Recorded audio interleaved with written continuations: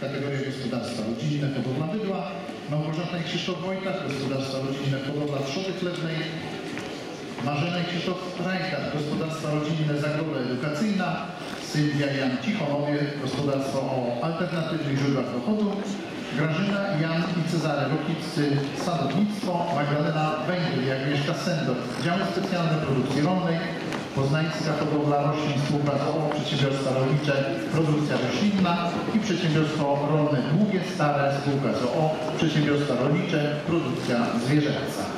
No teraz nam się zrobiło tłoczno, ale chyba proszę,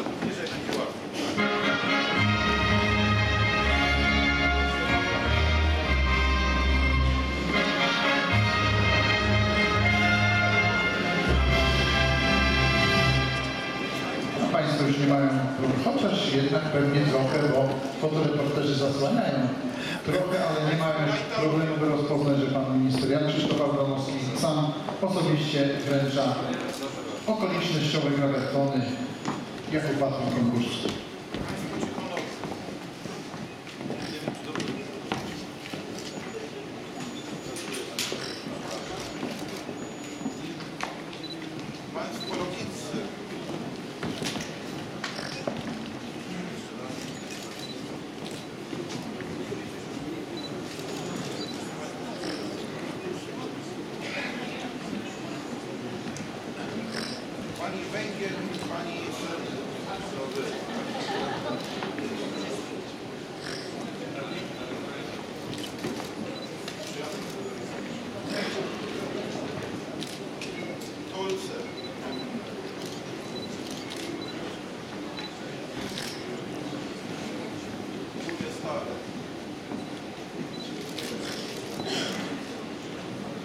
Wręczone?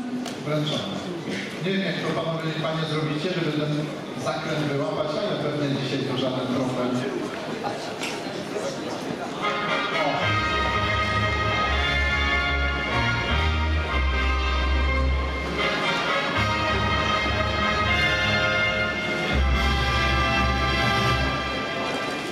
I póki Państwo wszyscy jesteście na scenie, zapraszam Pana Krzysztofa, Pan Krzysztof Rajtar.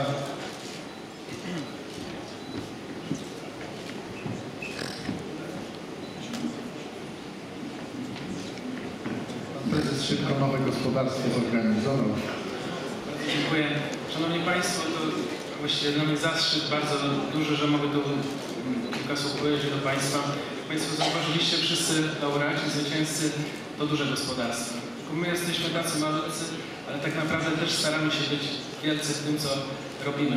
Chciałbym serdecznie podziękować kapitule za to, że dostrzegła naszą pracę, za to, że nagrodziła nas złotymi jabłkami, za to, że mm, odwiedziła nas w naszych gospodarstwach, że dostrzegła naszą trudną pracę. Nasze gospodarstwa rozwijają się już e, i to widać zdecydowanie na polskiej wsi, że e, polska wieś już nie patrzy, tak jak pan minister powiedział, z tęsknotą za kolegą z zachodu, tylko my rzeczywiście idziemy do przodu. Rzeczywiście coraz więcej innowacji jest w naszych gospodarstwach. To wszystko chcemy ulepszać, żeby nie zostawać w tyle. I ten mit polskiego rolnika, ja to widzę wyraźnie, e, przestał działać tak naprawdę. My jesteśmy proeuropejscy, nas widać w Europie to chcemy robić. Szanowna kapituło, dziękujemy za odwiedziny, dziękujemy za nagrody, dziękujemy za wy- wyróżnienia.